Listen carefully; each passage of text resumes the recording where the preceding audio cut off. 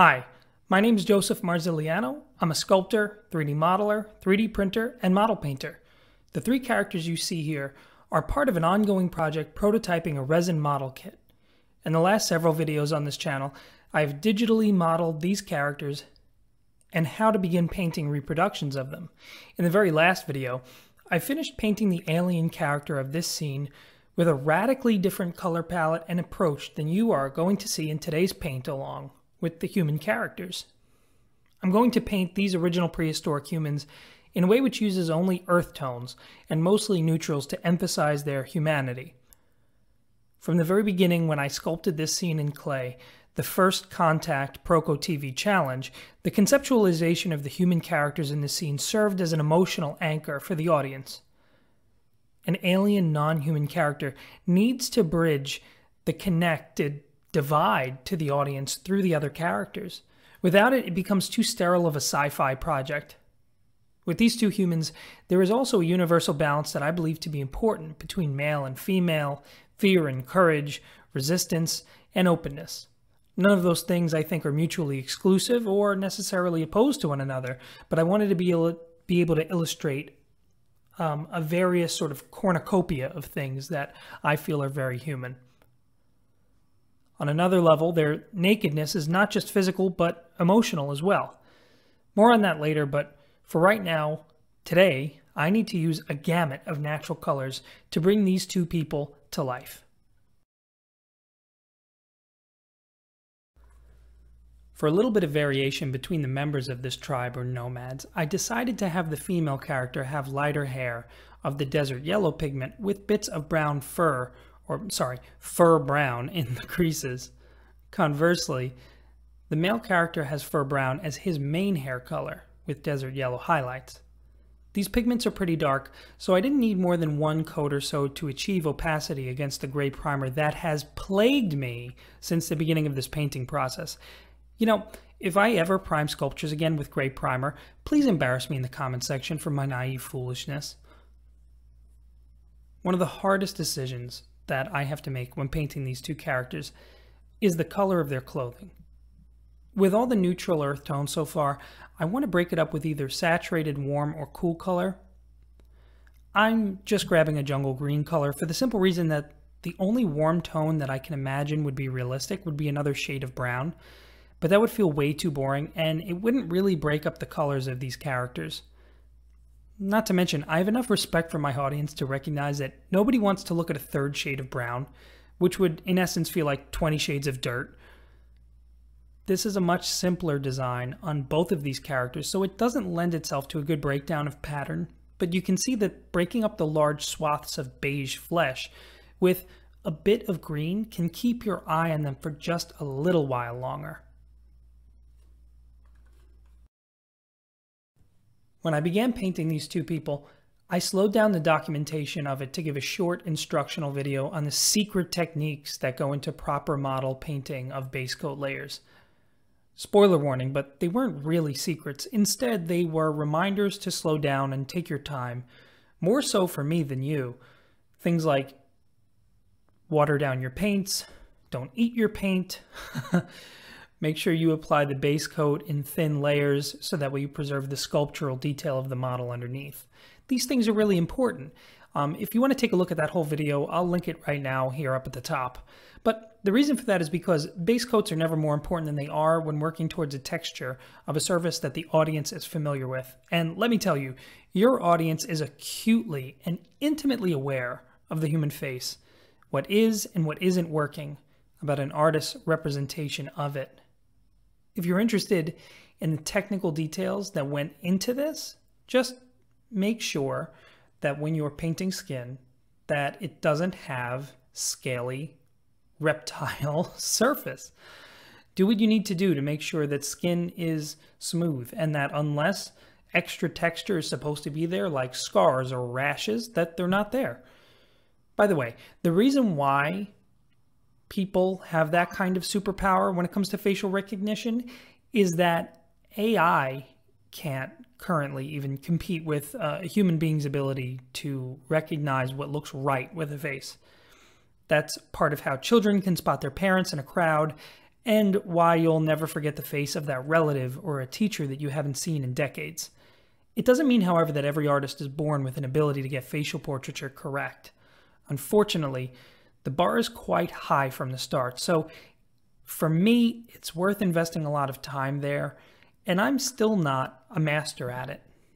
I can pass off a lot of mediocre work to non artists, but when faces, and for some reason hands, don't look right, um, an untrained non artist will pick up on it right away. Um, you know, your friend, your neighbor, your family members, they will tell you when hands are too big or small. I'd like to take a second to quickly compare the vast ocean of differences between these two human characters, who I imagine will share a cave dwelling, and the alien creature itself. The alien ended up with this rich palette of saturated cool blues and teals for its clothing, alongside warm organic textures of red, orange, and yellow in its face. That is a richly colored and exotic character. By comparison, I'm shooting for the humans to remain interesting based on their emotional anchor in reality that I mentioned earlier. You can see I'm already selecting pigments that are neutral and earthy. The acrylic paint brand I'm using is Army Painter, and I've already selected Fur Brown, Barbar Barbarian Flesh, and Desert Yellow. I know, their names, not mine. The only cheap Craft Smart pigment I'm using is a flesh highlight of peach for the noses and cheeks of these characters. As an artist, I always try to emulate Norman Rockwell in regard to the variation of colors involved in flesh tones on human beings. I feel that his face and skin texture painting techniques are stylized and pushed nearly to the limits of what is believable, but they're just absolutely gorgeous. I mean, what artist wouldn't want to aspire to Norman Rockwell, right? The noses and cheeks are often so ruddy that they almost scream to you that the characters are made of flesh and blood. This humanity is something that I always look to and need to do my best to convey here with the simple humanity of these prehistoric characters. For me, this part of the painting process is trying to convey emotion just as much as sculpting realistically.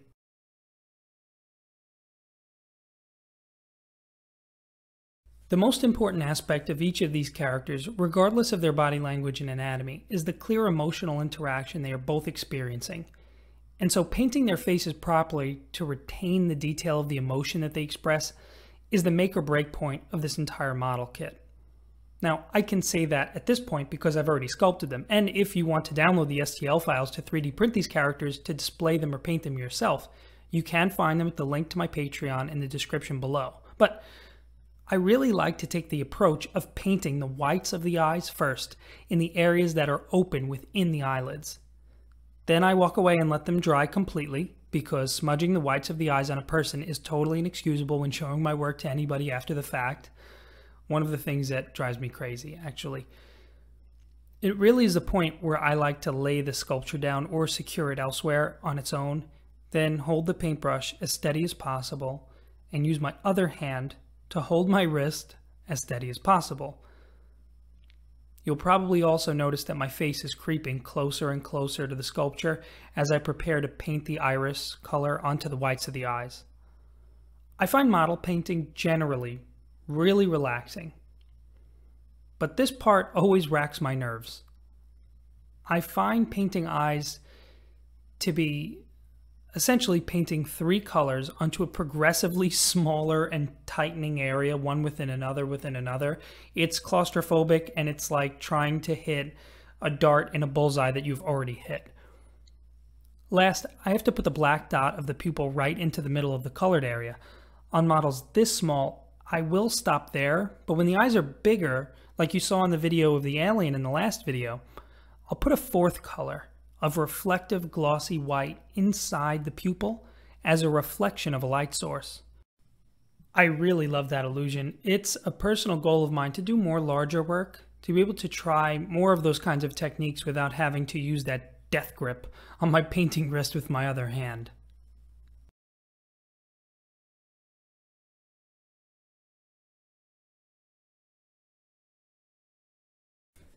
There's one last illusion that I have to try to pull off, and that's the flame on the torch in the hand of the prehistoric cave woman. Conceptually, I think it made sense to have her interact with the alien character and symbolically hold a torch to signify either enlightenment or the handing down of civilization, something like chariots of the gods or ancient astronauts. The final version of the sculpture on display is going to have an LED light source for the flame effect coming from a campfire, but this sculpted flame needs to still be passable. I wanted to enhance the sculpture as a nice touch and not kill the effect of everything else. So I'm using a blending technique with a semi-wet brush to blend the red at the base to an orange, and then more blending to blend the orange into the yellow near the tip, one coat pass with each is fine for me. It seems okay to my eye and I'm not going to mess with it further. One feature of these characters that I haven't really discussed yet is the look of sheer terror in the face of the male caveman. It was conceptually really something that I decided on very, very early when I was sculpting these characters is that I was going to have one character be open and maybe a little in awe or taken aback by the situation um, with with a look of astonishment. And I was going to have another character who was going to look like a little bit like that um, uh, you know just they are they are seeing something that scares and terrifies them. Um, and you don't know whether they're going to go into fight or flight mode. And I really wanted to do that because I, I do so much work that involves heroism and characters that are strong and know, superheroes and things of that nature that it really meant a lot to me to be able to sculpt someone in such a weak emotional state. And I think that that has something to do with the strength of the piece overall. Next time, I'm going to create a sculpture-based environment and paint it from scratch for these characters and their otherworldly visitor to be displayed in. With that, I'm going to wrap up these characters and roll some turnaround beauty shots of them finished. I hope it did a good job conveying the intended humanity and fragility that we all might experience when facing a supernatural experience. If you enjoyed watching me attempt this and working towards my first original model kit, don't forget to subscribe to my channel for more. Until next time.